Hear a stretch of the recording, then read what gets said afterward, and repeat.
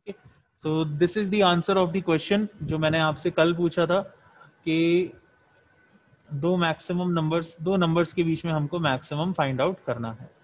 अल्फ्राज अगर हम एल से फ्लैडर यूज़ करते हैं, अपन वहाँ भी चलेंगे अल्फ्राज डोंट वरी धीरे धीरे आगे बढ़ रहे हैं। ओके. ठीक है, नवीन, आपने अगर कोड को थोड़ा मॉडिफाई किया है एज यू हैव रिटन अच्छी बात है अगर बी भी नम टू या बी को शो कर रहा है। बट uh, हमारा एम अभी ये है कि हम क्वेश्चन का आंसर करें। धीरे धीरे हम इसको और रिफाइन करेंगे और बेहतर बनाएँगे। We have to move at a pace कि सबको समझ में आए। चलिए अब इसी क्वेश्चन को अपन आगे एक्सटेंड करते हैं।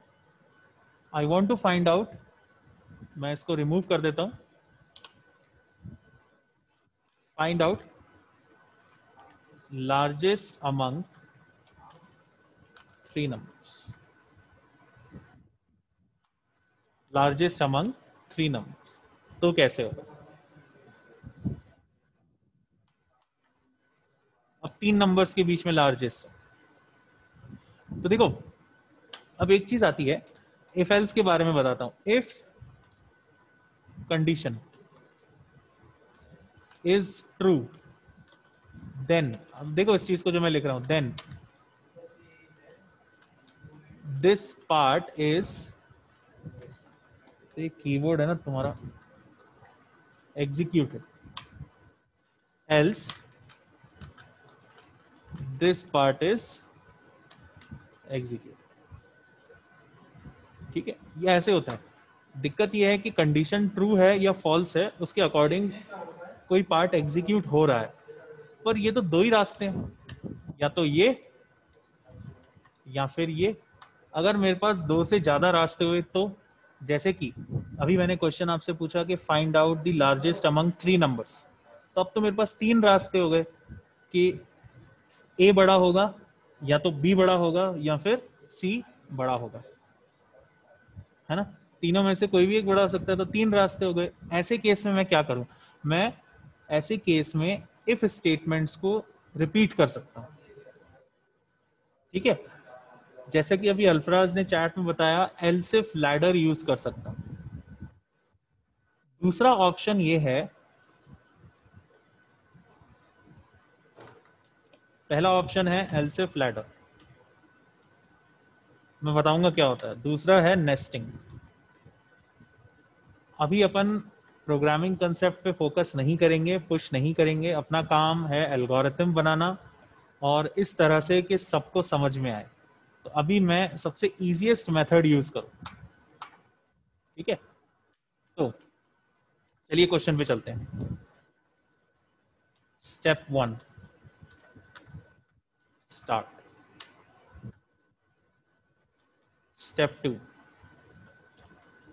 मुझे दो नंबर्स इनपुट लेने हैं। सॉरी तीन numbers input A comma B comma C किसी भी स्टेप में किसी भी स्टूडेंट को प्रॉब्लम आए, मुझसे पूछ लेना। स्टेप थ्री अब यहाँ से थोड़ा अपन को सोचना पड़ेगा। ये कहता है कि तीन नंबर में से बड़ा कौन सा फाइंड आउट करना फाइंड आउट करना है? तो कैसे पता चलेगा?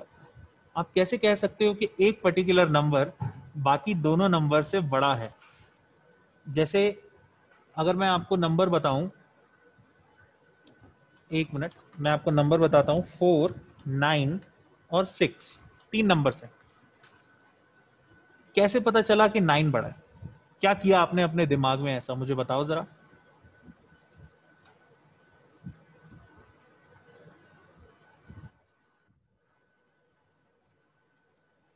बिल्कुल नवप्रीत सही कहा आपने।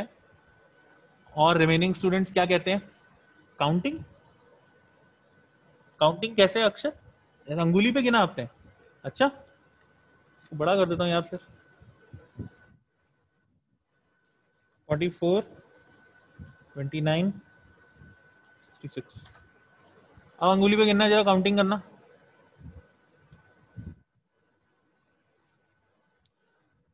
प्रथम सही कह रहे हैं, अंकिता भी सही कह रही है, आयुषी भी सही कह रही है। दुष्यंत ने कहा एनालाइज बिल्कुल सही है but how the word is comparison आप क्या करते हो? आप देखते हो कि क्या ये नंबर ये जो 44 है, ये जो नंबर है, ये क्या हो गया? एक मिनट।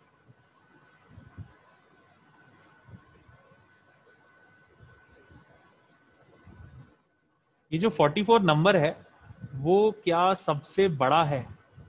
बाकी दोनों नंबर से।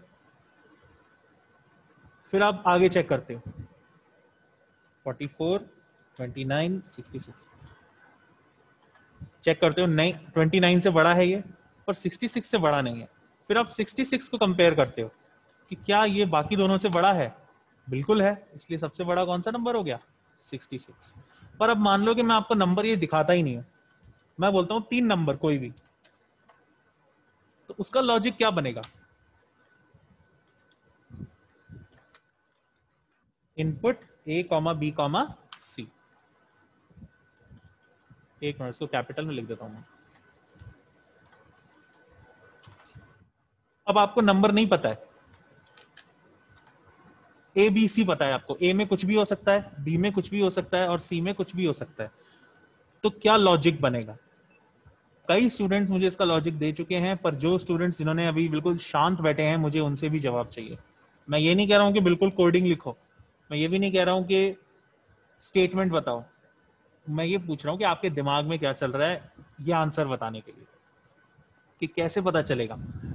आप चाहोगे ना यही कि आप चेक करोगे कि क्या ए बी से बड़ा है? अगर है तो मतलब ए बड़ा है ए और बी में। फिर आप ए को किससे मैच चेक करोगे? सी से। आप चेक करोगे कि क्या ए सी से बड़ा है? अगर है तो आप कह सकते हो कि ए सबसे बड़ा है। तो मैं स्टेटमेंट बनेगी if A is greater than B and A is greater than C then क्या क्या? प्रिंट ए इज़ लार्जेस्ट अभी सिर्फ़ ए का हिसाब किताब किया है मैंने। बी और सी का हिसाब किताब नहीं किया मैंने। ठीक है? एंड स्टेप फोर मैं बिल्कुल सिंपल तरीका बता रहा हूँ इस समय आपको। If a sorry B is greater than A and C is greater than A then print B is largest ठीक है? यस जयप्रकाश अपन एलसिफ भी यूज़ कर सकते हैं पर अपन धीरे धीरे आगे बढ़ रहे हैं ठीक है ना? अपन सबके साथ चलेंगे अपन को जल्दी नहीं भागना है। मैं वन बाय वन सारे मेथड्स बताऊँगा। इस, इसी प्रोग्राम को मैं एक और तरीका भी बताऊँगा करने का। स्टेप फाइव अपना होगा if C is greater than A and C is greater than B दोनों अगर सच हैं then print C is largest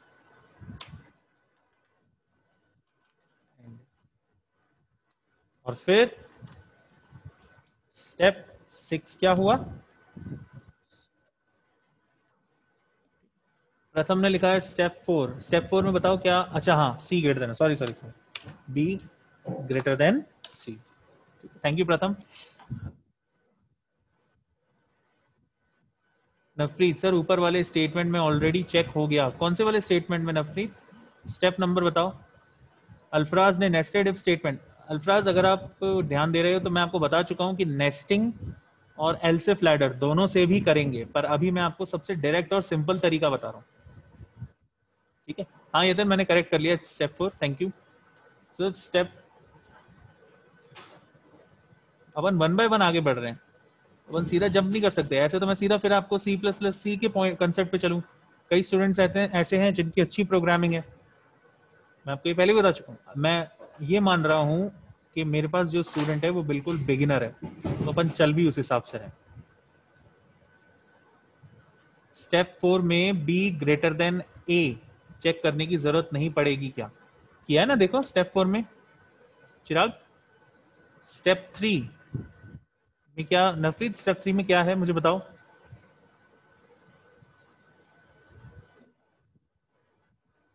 नवीन ने पूछा is it necessary to write and if नहीं नवीन, नहीं। स्टेप खत्म होते ही ऑटोमेटिकली एंड इफ़ हो जाता है।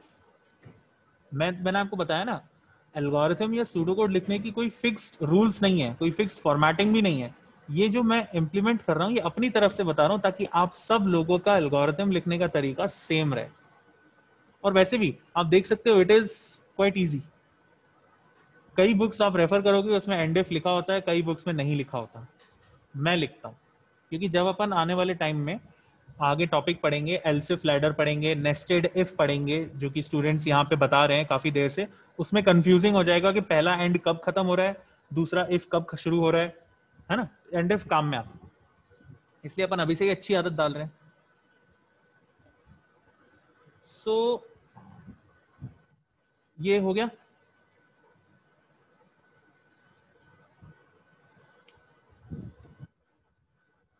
आपको एल्गोरिथम समझ में आ गई? एक मिनट। स्टेप थ्री में ऑलरेडी प्रूफ हो गया है कि बी ग्रेटर था। नवप्रीत मैंने एल्स यूज़ नहीं किया है। एल्सिफ यूज़ नहीं किया है। तो step three is totally different from step four अगर मैं this is only for I am answering Navpreet only अगर मैं एल्सिफ लाइडर यूज़ करता, तब मैं आपकी बात अग्री करता हूँ। या फिर अगर मैं नेस्टेड इफ़ यूज़ करता, तब भी मैं आपकी बात अग्री करता हूँ। But I am not using any of those मैं सेपरेट स्टेप्स में, वो बेसिकली देखो, जब वर्क होगा तो ये स्टेप थ्री भी रन होगा। स्टेप फोर भी रन होगा। स्टेप फाइव भी रन होगा। जबकि जब अपन एलसिफ लैडर यूज़ करते हैं, या फिर अपन नेस्टेड इफ़ यूज़ करते हैं तो सर्टन स्टेटमेंट्स रन नहीं होती हैं। ठीक है ना? अगर आपने इनको प्रॉपरली यूज़ किया है तो यू शुड नो कि कुछ स्टेटमेंट्स स्किप हो जाती हैं रन नहीं होती हैं। जबकि यहाँ पे सारे स्टेप्स एग्जीक्यूट हो रहे हैं। दैट्स वाई मुझे हर बार कंपैरिजन करना पड़ेगा। ठीक है? तो ये आपको समझ में आ गया? चलो इसी प्रोग्राम को एल्गोरिथम को एक और तरह से करते हैं। अभी इसमें कोई दिक्कत किसी को इस एल्गोरिथम में? सबको समझ में आ गया? ऐसा कोई स्टूडेंट जिसमें दिक, जिसको दिक्कत हो सबको एल्गोरिथम लिखने आनी चाहिए।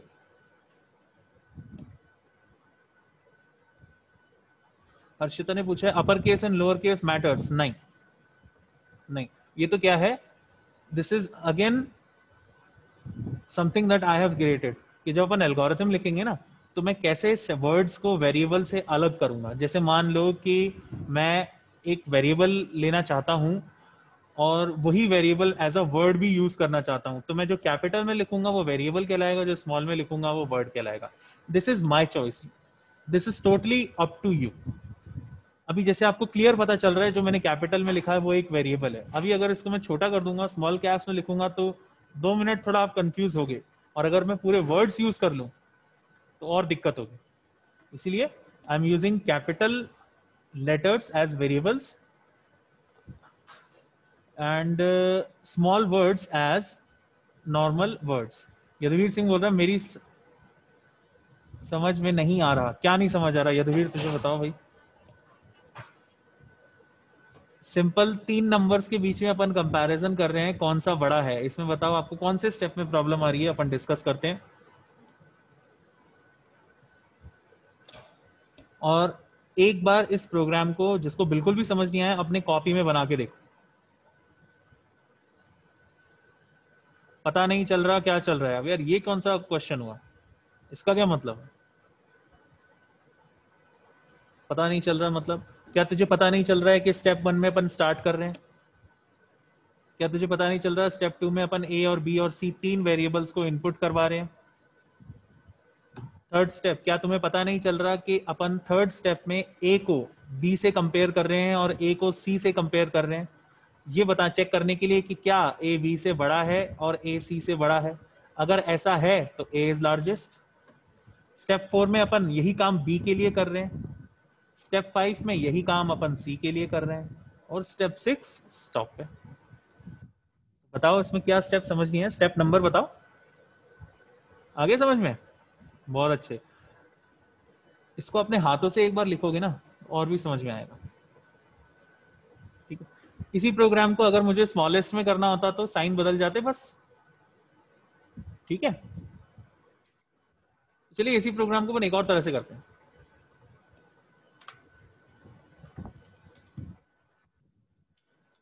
आप मुझे बताना, जो मैं यूज़ कर रहा हूँ, वो प्रॉपर है कि नहीं है। कोई मुझे बताएगा इस लाइन का मतलब क्या है? थर्ड स्टेप का मतलब क्या है?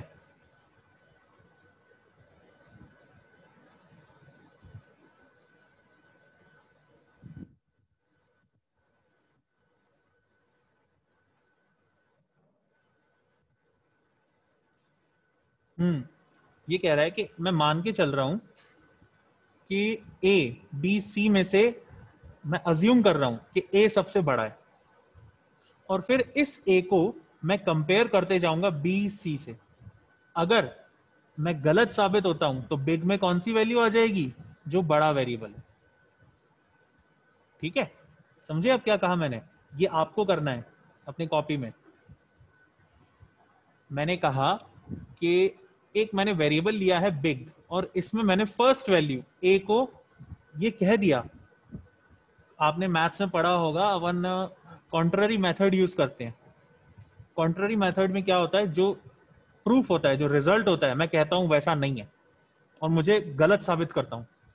यहाँ पे भी अपन यही कर रहे हैं। मैं मान के चल रहा हूँ कि ए इज़ द बिगेस्ट अब मुझे गलत साबित करो। तो आप क्या कंपेयर करोगे? बिग को बी और सी से कंपेयर करोगे। अगर मैं गलत हूँ तो जो बड़ा वैल्यू है, वो बिग के अंदर आ जाएगा। ये एल्गोरिथम आपको बनाना ठीक है? फर्दर चलिए आगे मूव ऑन करते हैं। नेक्स्ट अपन एक एल्गोरिथम बनाने की कोशिश करते हैं। This is something that you have to do जो अभी प्रीवियस वाली एल्गोरिथम है। Right an algorithm to check if a person can vote or not कितना इजी है ये। स्टेप वन क्या होगा? बिल्कुल सही। अच्छा एक चीज़ मैं नोटिस कर रहा हूँ चैट में। Only few students are responding मेरे पास 62 स्टूडेंट्स हैं। बट मुझे लगता है कि अगर मैं चैट को कंपैरिजन करूँगा तो मेरे पास वही स्टूडेंट हैं जो कि अराउंड टेन या फिफ्टीन स्टूडेंट्स ही रिस्पॉन्ड कर रहे हैं। बाकी क्या आप लोग फ़ोन चला के बैठ गए हो कहीं और? I don't understand step two. क्या होगा? ओके। okay. मैं रीड करूँगा एज, है ना?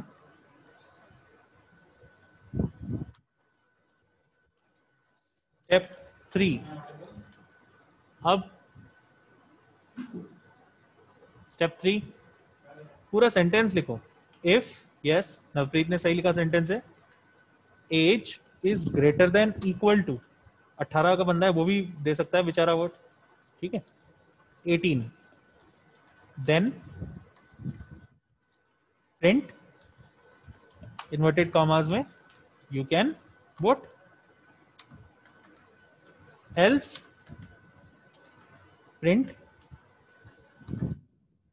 you can not vote ठीक है। गौरी अट्ठाईस साल की उम्र को वोट दे सकते हैं क्या? अच्छा अट्ठारह सही कर दिया। स्टेप फोर खत्म।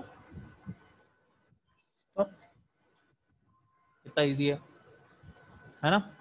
चलिए, इसको आगे मूव ऑन करते हैं, इससे ज़्यादा पुश नहीं करेंगे अपन। To check if a number is positive negative or zero अगला स्टेप अगला क्वेश्चन राहुल स्टेप थ्री समझना चाहते हैं. ओके राहुल, एक बार देखो. बाकी रिमेनिंग स्टूडेंट्स क्वेश्चन क्वेश्चन पे फोकस करो. राहुल, ये कह रहा है कि पहले स्टेप टू में मैंने एज रीड किया स्टेप थ्री में मैंने लिखा है कि अगर एज 18 से ऊपर या उसके बराबर है है ना? 18 या ऊपर उसके बराबर है तो प्रिंट में लिख दिया मैंने, आप वोट कर सकते हैं। नहीं तो नहीं तो का मतलब 18 से कम है उसकी उम्र। यू कैन नॉट वोट आप वोट नहीं कर सकते। ठीक है ना?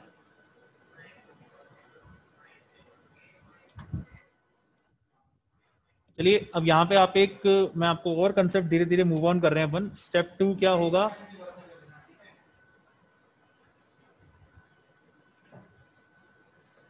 स्टेप टू बिल्कुल। इनपुट एन मैंने कैपिटल एन ले लिया नंबर जिसको मैं इनपुट करा रहा हूँ। स्टेप थ्री बताइए।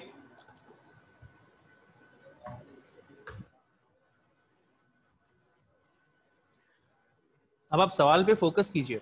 सवाल कह रहा है, मेरे पास अब तीन रास्ते हैं क्वेश्चन के according to check if a number is positive negative or zero तो या तो नंबर पॉजिटिव होगा, या फिर नंबर नेगेटिव होगा या फिर वो ज़ीरो होगा।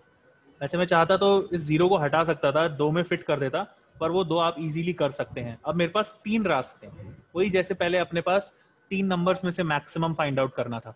पर इस बार मैं आपको एक नया तरीका सिखाऊँगा, वो है एल्सिफ लैड मतलब इसमें ये होता है कि मैं एक ही स्टेप के अंदर मल्टीपल इफ़ यूज़ करता हूँ।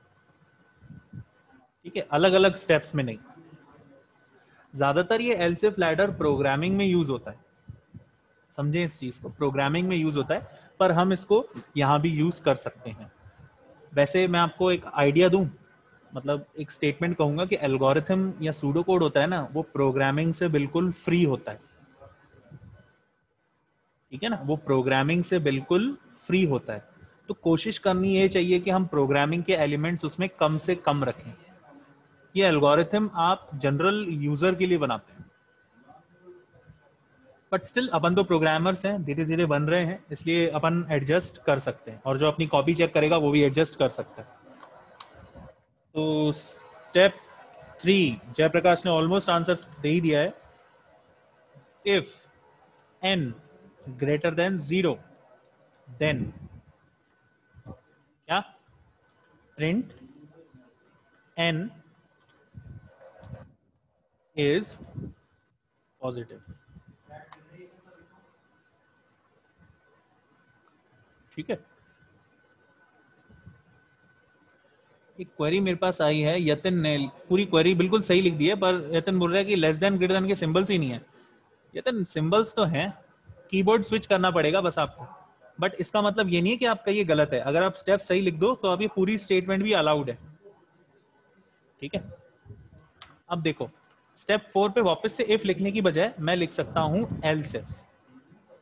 ये इसका मतलब है नहीं तो। मतलब अगर ये सच नहीं है तो ये चेक करो। If n is equal to 0 is equal to 0 then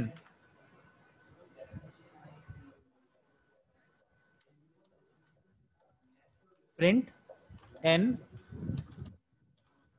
is 0 ये स्टेटमेंट अपनी मेन लाइन है। ये कह रहा है कि ये इसी का अल्टरनेट ऑप्शन है। तीन रास्ते हैं ना अपने पास। तो पहला ऑप्शन ये है, दूसरा ऑप्शन ये है। और तीसरा ऑप्शन अपने पास, अगर बड़ा नहीं है ज़ीरो नहीं है तो बचा क्या अपने पास? नेगेटिव तो प्रिंट एन इज़ नेगेटिव आप नोटिस करो कि सारा मैंने एक ही स्टेप में लिखा है। स्टेप फोर ठीक है? इसी चीज़ को मैं स्टेप थ्री एक बार फिर से लिख रहा हूँ। ऐसे भी लिख सकता हूँ स्टेप थ्री से। If N is greater than zero then print N is positive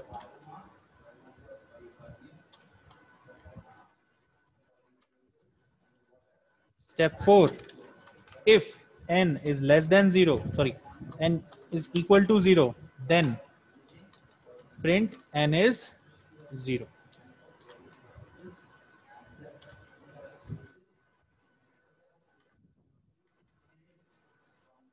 और स्टेप फाइव होगा if n is less than zero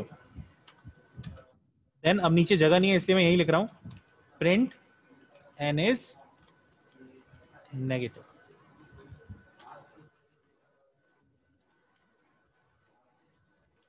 ऐसे लिख सकते हो आप। तो स्टेप थ्री से you can use either way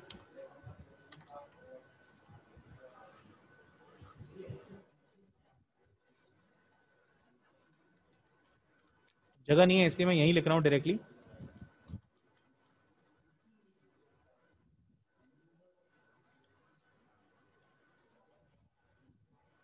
you can use either. ठीक है?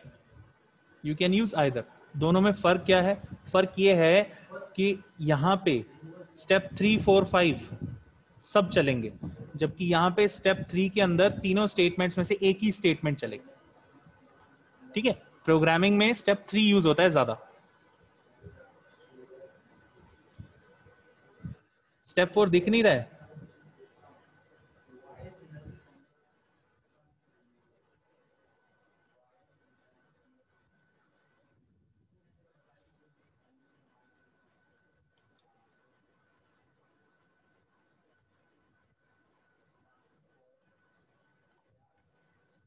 अब देखो। इसका कलर वगैरह चेंज नहीं होता क्या? सबका ही कलर चेंज हो गया है तो। यार, क्या फ़र्क पड़ता है? ब्लू इज़ मच बेटर ठीक है? ये रहा आपका स्टेप थ्री फोर फाइव कुछ इस तरह से। आप दोनों में से कोई भी मेथड यूज़ कर सकते कोई दिक्कत दोनों मेथड्स में। बिल्कुल। बस ये है कि एलसिफ में आपको एंड लिखने की ज़रूरत नहीं है, मैं यहाँ पे लिखना भूल गया हूँ। आप एक साथ फाइनल एंड लिख सकते हैं। आई फॉर गॉट बस, हो गया। यतिन, ठीक है ना? यहाँ पे ये जो इफ़ स्टार्ट हुआ है, ये यहाँ पे मेरा एलसिफ लाइडर एंड इफ़ में खत्म हो गया जबकि यहाँ पे मुझे हर बार, नीचे वाले स्टेप में हर बार लिखना पड़ेगा। जनरली मैं क्या है, एक ही तरीका बताता हूँ। क्योंकि फिर कंफ्यूजन होता है। अब मुझे जैसे आप चैट में कई स्टूडेंट्स जो पूछ रहे हैं जिस हिसाब से, मुझे लग रहा है आप दोनों में कंफ्यूजन है। यस स्टेप फाइव में एंड इफ़ ज़रूरी है अगर आप नेक्स्ट दूसरे वाले सेगमेंट में बात कर रहे हैं तो। ऊपर वाले में स्टेप थ्री में जो एंड इफ़ लिखा है, वो कंप्लीट है। हाँ स्टेप सिक्स स्टॉप है, वो नीचे जगह नहीं है, नीचे दिख नहीं रहा है, इसलिए मैंने लिखा नहीं है। But step six is stop you can use any of the methods ठीक है? सबको समझ में आ गया?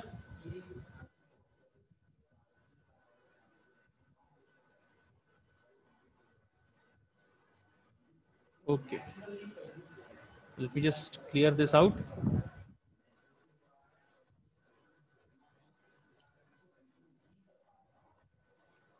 अब आप लोगों के लिए एक छोटा सा टास्क है। कल एक अच्छी खासी छुट्टी है आपकी। तो एक छोटा सा एल्गोरिथम लिखने की कोशिश कीजिएगा। राइट एन तो ये कीबोर्ड तुम्हारा है ना algorithm to check if roots of an equation are real or imagine and also print the roots real imaginary या फिर एक और भी तो does not exist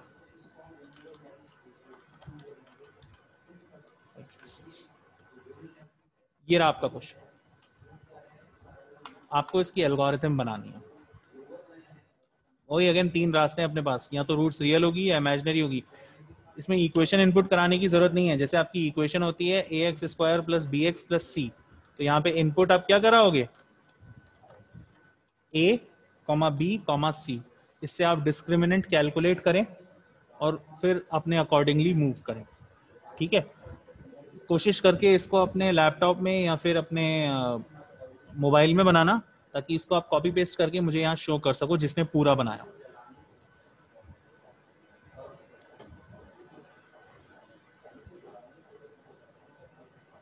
next class में अपन लूप्स के बारे में पढ़ेंगे। ओके सो विद दिस आज का सेशन अपन फिनिश करते हैं। If you have any doubt regarding today's session, you can ask. और ये क्वेश्चन ज़रूर करना। ठीक है? जो मैंने दिया है होमवर्क के लिए। फाइव टू टेन मिनट्स लगेंगे बट प्रैक्टिस हो जाएगी। इसमें सारे कंटेंट आ जाएँगे। जितना भी अपन ने एल्गोरिथम में पढ़ा है, वो सब आ जाएगा। Okay so thank you I will see you on Monday